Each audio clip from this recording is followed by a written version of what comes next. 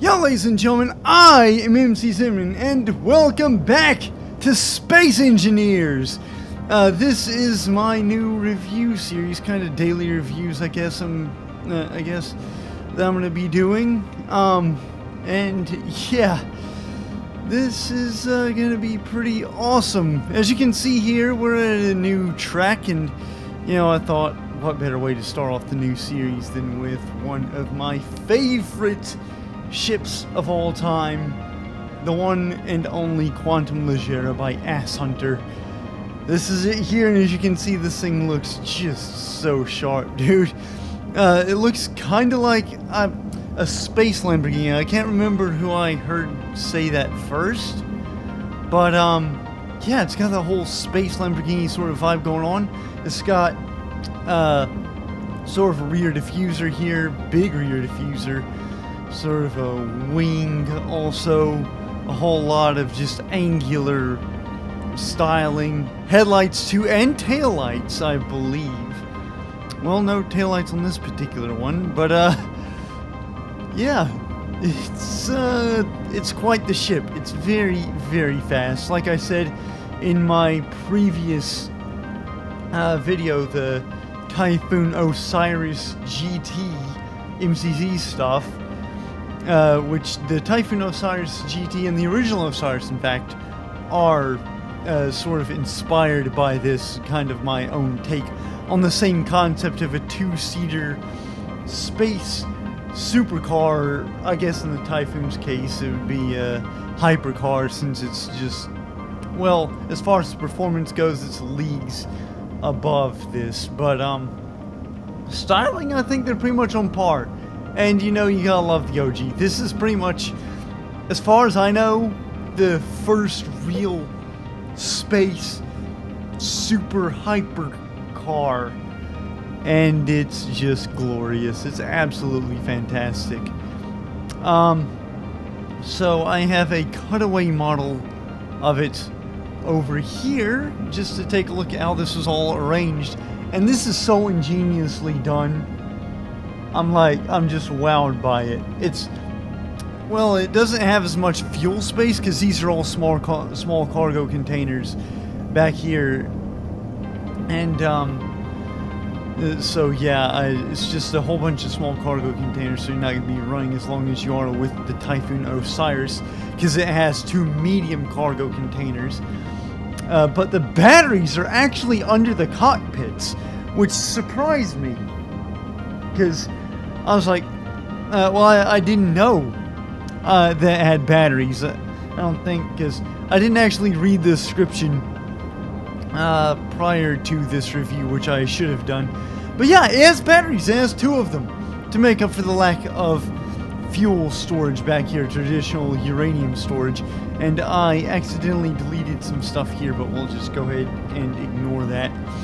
So, yeah, it has a whole bunch, a whole bunch of uh, azimuth uh, small uh, reactors here, azimuth small ion reactors, and it's got two. Although I deleted one over here, but as you saw over there on that one, it's got two azimuth um, big thrusters, so plenty, plenty of firepower with this thing. Yeah, it's just masterfully, masterfully laid out. So compact, you know, incredibly, incredibly compact. That's the big thing that really helps the maneuverability. Uh, I think it's just that it's so short. You know, it's just it's just very, very maneuverable, and yeah, it's just I think that's really all there is to say about the Quantum Legerra. So this is the new track. Well, new. Was actually um, Admiral Nemo's first track. So it's uh, kind of cool. It's almost like a space city circuit with all these sort of 90 degree bends and it's got these here where you have to actually keep the bottom of the ship oriented towards those U-shaped things there it's uh, kind of cool. It's not as good as the um, skeleton run. Definitely not as fun, but you know, I, I just decided, why don't we go ahead and change things up? So, just gotta find the start line here. There we go. And uh, this is the way you go. You start off here. I'm gonna give you a quick tour before my hot lap. Start off here, hard braking into this first turn, and then straight through here. Again, plenty of hard braking, especially in the Quantum Legerra, because it doesn't have Rider's modular thrusters.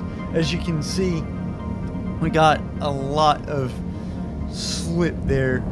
Like the, the ship continued to drift for quite a while after we uh, turned in. So you really have to, you can't trail brake at all. So then we come out into this sort of zone here. Keep the bottom of the ship orientated towards, uh, orientated like this. Keep the, basically not like not like this, not upside down. Because well, there's a reason for that. When you come back around to the start finish line, which is right there, uh, you're gonna be upside down. It's gonna be super confusing. So best not to do that. Although you can, you know, it's just it's just best not to. Uh, but anyway, so through another one of these zones, very high speed, but not wide open in the Legerra in the Typhoon Osiris, it is wide open. So that's a lap. Pretty simple, pretty basic. Um, but yeah, I don't know how many meters that is, otherwise I would have told you. But it is a few uh, uh, kilometers, rather. So, anyway, yeah, same, uh, same cockpit as the Osiris GT. Very luxurious. Got a couple of very light also. But anyway, so let's go for the hot lap. Hopefully I can keep this clean, but no guarantees because it is a technical track and this ship, while it does handle well, it's not exactly the best handling ship ever. So, anyway, the racetrack, the Quantum Legerra on uh, Admiral Nemo's first racetrack in three, two, one, go! So, up over 70, almost 100 meters a second into the first turn. As you can see, just the uh, inertia dampeners can't quite cancel out the momentum if you're not careful enough. And more evidence of that there and there as well. So you just gotta be very careful with your inertia dampeners. Get all your braking done before you turn in.